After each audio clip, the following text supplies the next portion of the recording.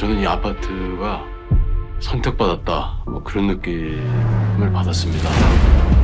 다 같이 살 방법을 먼저 찾는 게 우선이지 않을까요? 구심점이 될 만한 사람이 아파트는 도와주세요. 주민회가 이 성공 아파트 주민이 아닌 분들은 단지 밖으로 나가주시면 감사하겠습니다. 지금 다 얼어 죽으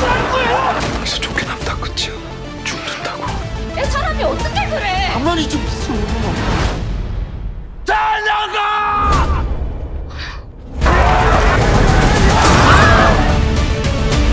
여기가 친구 같아.